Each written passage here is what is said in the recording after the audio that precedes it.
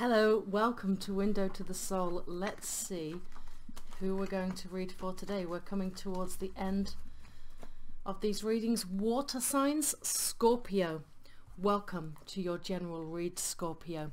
This week's readings are intended as timeless love readings for each of the signs. Please bear in mind that, of course, this reading, Scorpio, is general and therefore cannot, will not resonate with every single Scorpio on the planet.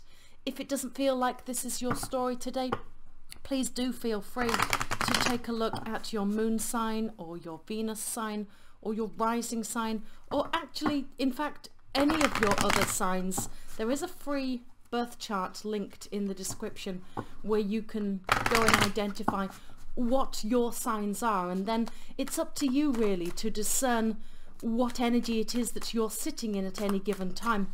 Um, last month, for example, I could identify that I was very much sitting in my moon sign and therefore when I went on YouTube to watch readings from the other amazing um, tarot readers here on YouTube, I only looked at Virgo, even though my sun sign is Gemini, because I know my signs well, I know what energy I'm sitting in. So, you know, if you know your signs, then you can also do the same. You'll know what energy you're sitting in once you understand your chart well. A tarot reading should never be used in place of professional advice, of course, because tarot it's about possibilities. It's about the choices that you have in front of you right now. And you can always use free will and you can decide, therefore, to make a different choice, perhaps even a better choice. Thank you, everybody, for supporting my channel. Thank you to those of you that take the time to hit the subscribe button, which helps get these messages out there and of course helps to grow my humble little channel. I have over 2,000 subscribers now, which is absolutely overwhelming, um, humbling, something I'm so grateful for. I never ever could have possibly imagined. So thank you so much. Thank you to everybody that takes the time to hit the like button. Thank you so much for everybody that feels comfortable enough sharing their stories with me. It's always an honour and a pleasure. And of course, Thank you to those of you that support what I do here on Patreon with a small donation. It means more than you could possibly ever know. If you do support me on Patreon, please do pop on over there. There are bonuses coming in during this week. I am grateful to each and every one of you. If anybody has any suggestions for future readings, I would love to hear your ideas. Okay, cards are just about ready. Let's lay these out and I'll just talk you through the positions here, Scorpio. How do they feel about you? What do they wish they could say to you? What do you need to know about this person? What challenges and blocks do they have? And what action would they like to take towards you? This is the after tarot here that I'm using along the top row here. And I'm going to be taking a clarifier for each of these positions using the Everyday Witches Tarot. Two of my absolute favourite decks. I will close out this reading with an oracle reading, but um, an oracle card, sorry, but let's get into this. How do they feel about you, Scorpio? So we have the Ace of Wands and the Two of Swords. Two cards that are quite early on in the ordering of the cards, you know, essentially a one and a two. The Ace of Wands, it, what a great card for how somebody feels about you. The Ace of Wands is a yearning and a desire um, for something that you feel is following your heart. You know, it kind of asks, what are you passionate about? What inspires you? Um, what will and direction towards a goal will you be taking? It's like it's the striking of the match. It's the beginning. It's the spark of inspiration. Um, this person is clearly very enamored with you. This person, Scorpio, certainly sees potential um, in a very passionate sense because this is the Ace of Wands, the force of desire and passion and ambition and energy this is something that inspires. But it does come along with the Two of Swords, which is interesting energy because this is the moon in Libra. As a person, this is somebody that seeks validation, somebody who's indecisive, perhaps even blocked or closed off, avoiding something even in the dark. You know, this lady here is blindfolded. Um, it kind of asks, you know, are you seeing everything? Or have you considered all of the options? It also suggests that kind of vibration of there are two sides to every story, you know, bringing that Libra energy, the, the, those balanced scales that we associate with the sign of Libra, Scorpio. It's somebody indecisive, but, you know, they usually have good reasons. Now, what I'm seeing here with your person is, you know, this combination here is somebody that can see potential with you, somebody that feels that spark with you but for some reason is either blocked off or closed off to the idea, or they are in the process of choosing between you and someone or something else, however that resonates for you. Not necessarily romantic, but it could be. Or is this somebody mm, kind of closed off to you or blocked off to you in some way? You know, when we say things like, are you seeing everything? Because I did mention the blindfold. You know, this is quite a bright spark. I, I couldn't imagine your person is has not noticed you, is not seeing you, if they if they're presenting the Ace of Wands here. But there is a blockage here. There is something kind of stopping them. It's not clear what, but as we move forward into the spread, that might become more apparent. It's strange, you know, it's very hard to ignore the Ace of Wands. Aces are potential and opportunities. And the Ace of Wands in particular, you know, it's full of energy and light. It, yeah, why we're we're blocked off to that. You know i'm sure they have their reasons or you will understand what those reasons are potentially. Let's take a look. We're going to move into what they wish they could say to you. Very interesting. Okay. So i'm feeling here that there's been a split scorpio. There's been some kind of separation.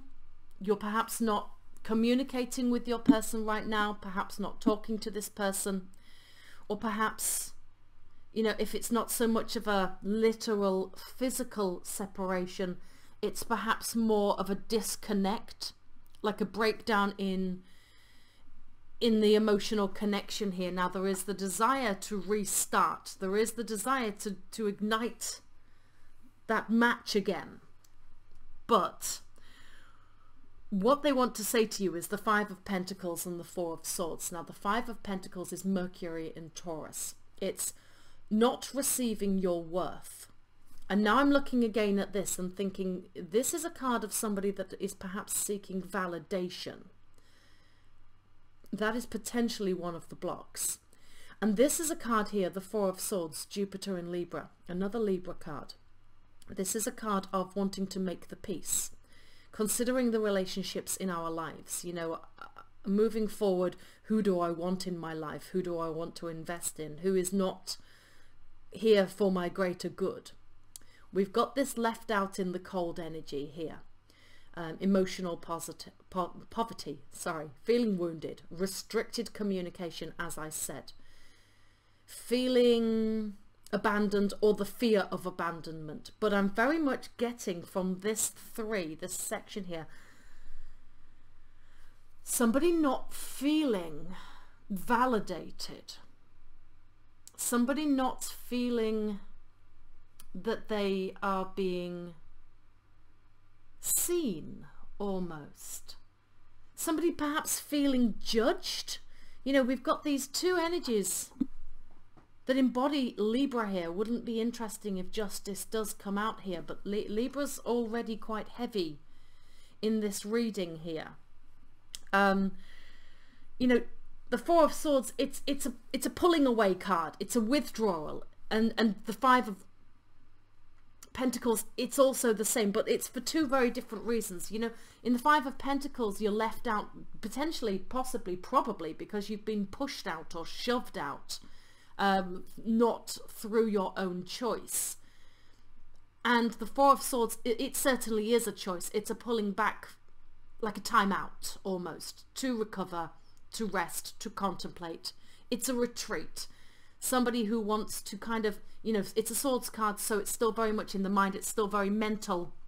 Trying to work out how to make this peaceful and calm and lovely and harmonious moving forward. Again, that Libra energy, trying to find balance here.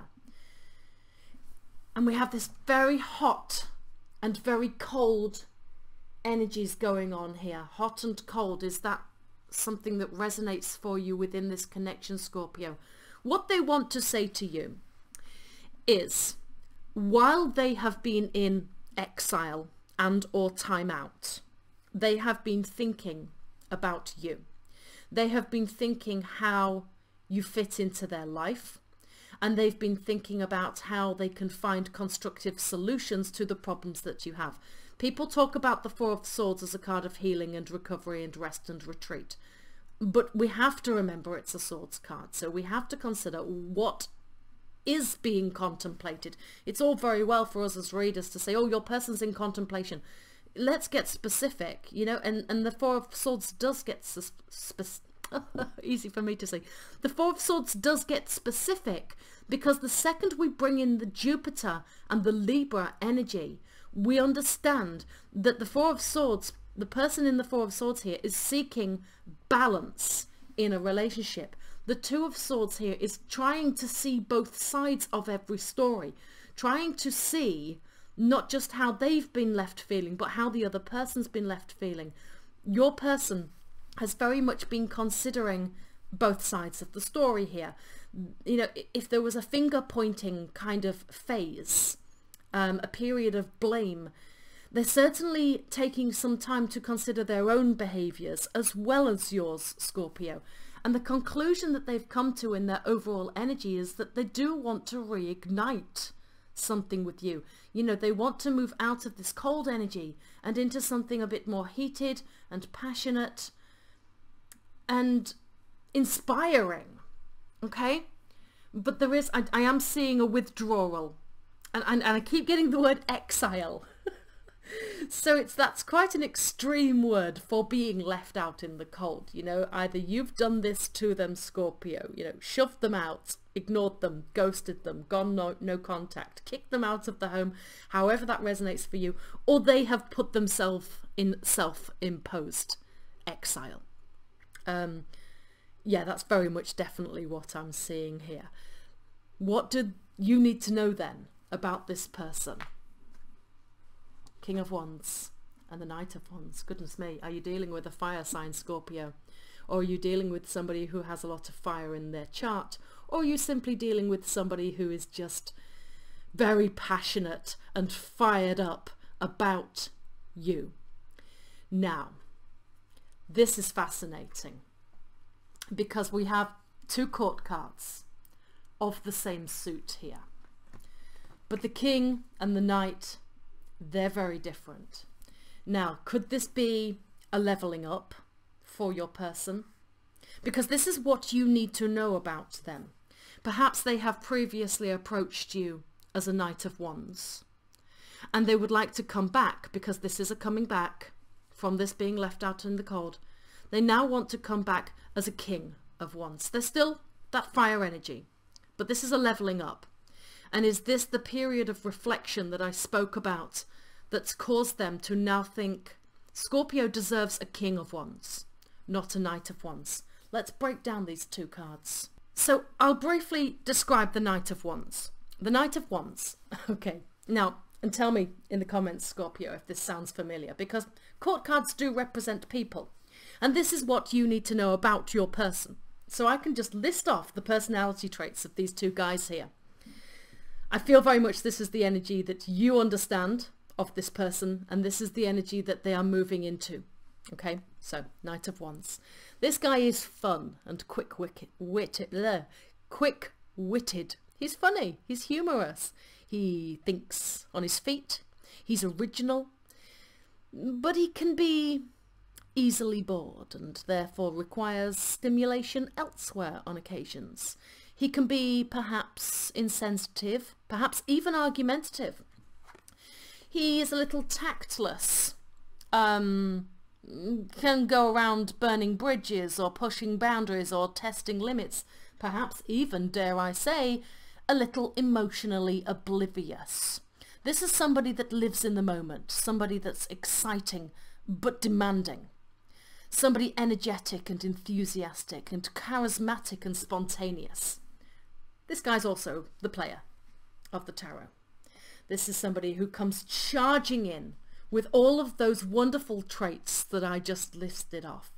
You know, who wouldn't want to spend a few days with the Knight of Wands? What a fun, charismatic guy. The problem is, if somebody falls in love with the Knight of Wands, beware, because after he's charged in and got what he wanted, he's gone. He's gone. He's a little bit of a devil's advocate, this guy. Um, so are we suggesting, or at least is your person suggesting that they have now leveled up into a King of Wands? So who's the King of Wands?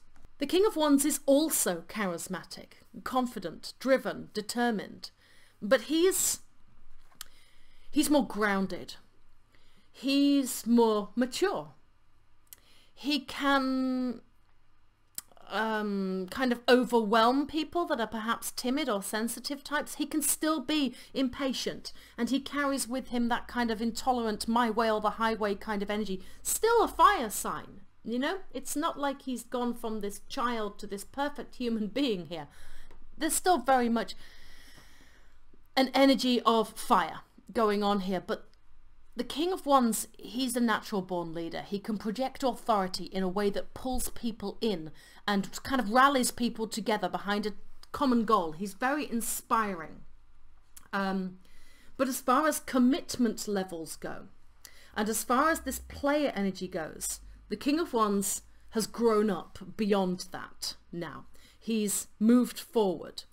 Um, he's dominant, relentless, impatient, perhaps even unforgiving. He loves a challenge. So that's kind of me laying out these two personality types here. And I do feel very much that this is kind of what you need to know is that your person's leveled up. You know, if you're expecting a Knight of Wands to come back at you because you're used to this behavior, offering this Ace of Wands, I think actually now, Scorpio, perhaps you will be dealing with the King of Wands. Now beware, he's an incredibly attractive person. Not necessarily physically, but I mean as in he attracts, he magnetizes people towards him. I think your person is going to be very persuasive and very convincing if they decide they come back to bring you this ace of wands which i very much feel is you know it's the overall energy of how they feel about you this restart, this, this reignition. The blockage here is this. The hesitation that we saw here is this. We're not quite through this yet. We haven't fully leveled up yet. But this is coming, this offer of something new and inspiring, following your heart. I'm passionate about you, Scorpio. So what challenges and blocks do they have? Ten of Cups and the Queen of Cups. Wow. Wow. The Ten of Cups, Mars in Pisces, this is the happily ever after card. Um, this is making love your mission. This is expressing yourself. Um, it's divine love, togetherness, perfection and love, all that kind of stuff. It's bliss. Bliss would be the predominant keyword of this card. The Queen of Cups, um, she's emotionally stable, she's nurturing, she's healing, but she does this kind of holding space, keeping a lid on her emotions. Um, she isolates herself on this island here. You can see she's separated. This combination here as a challenge or block is expressing love. The expression of love. The expression of something committed and long-term and deep and committed. I already said committed, I know, but I'll, I'll say it. Devote, devotion, loyalty, you know. The Knight of Wands, as I said, is not the most committed. And levelling up from the Knight to the King is all great, but it, is a process. It's not something that happens overnight. And it's not a clear lineal path. You know there's, there's a roller coaster of ups and downs that go here. Sometimes people do slip back into their old ways. And i feel fully expressing the depth of their love is a challenge. And i feel the concept of happily ever after you know the the wife and the husband and the 2.4 kids and the cat and the dog and the white picket fence I think it scares them. I think it freaks them out. I think it, commitment is an issue for this person. They are working on that and they are certainly moving into something more mature. But the fear is still there. But I think they're moving into a space where they're starting starting to understand that it is an irrational fear because they are clearly drawn to you. I'm seeing a lot of magnetic energy being pulled towards each other and them very much desiring you being brought back to them, being pulled to them. But yes, expressing the desire for a happily ever after with you is very challenging to them, Scorpio. I think this is perhaps one of the most interesting positions here. This is what action would they like to take towards you? Spectacular. Look at this. This is absolutely wonderful. This is the leveling up that we were speaking about. And we have the Four of Swords here again, as if to remind us of everything I spoke about in, in when I first pulled this card. Jupiter in Libra. Yes, rest and recovery, retreat, contemplation, perhaps even exile. But what are they contemplating? What conclusions are they coming to? Where is their thought process taking them? And this reminds us that, that your person has been sitting in a thought process of considering the relationships in their life. Who is serving their interests? Who is making them a better person? And the King of Pentacles, you know, th again, this is a massive leveling up. This is somebody who's disciplined and secure, who takes care of others. This is some, you know, the provider and the protector of the family and the home. You know, we spoke all about commitment here. The King of Pentacles is committed. He's the most committed of all of the kings as far as providing and taking care of a family would go. And this is what your person has been thinking about. How they can be a King of Pentacles for you. The King of Pentacles is supportive and devoted, um, stable and organized. They they're a role model and a provider. This is somebody that takes their responsibilities very, very seriously. And this is somebody who does not. You know, this is a massive leveling up for your person. And I feel if there's been a split here, or a period of separation or the exile, that bizarre word that keeps popping up into my head here. I think it was necessary. I think this kind of shook up the situation a little bit. If somebody left or somebody pushed somebody away, you know, what I'm seeing here is a desire to reconnect, to reignite a spark between two people after a period of separation and deep, deep introspection and contemplation regarding who they want in their life and the kind of person that they want to become or be for you.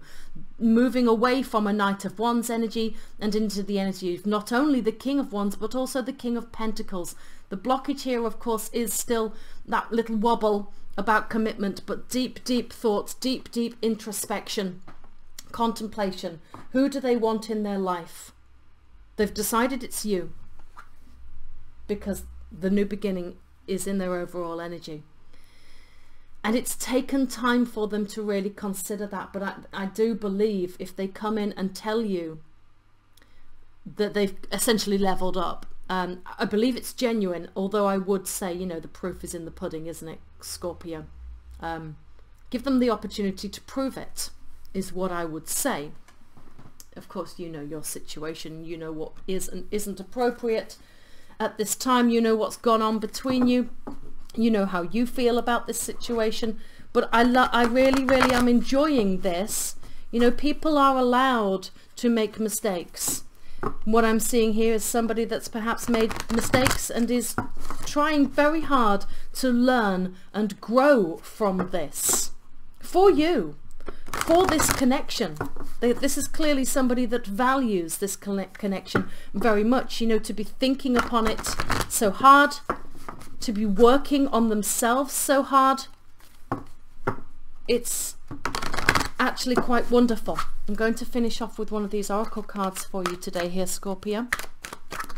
Close out this reading, kind of pop a little full stop at the end of this.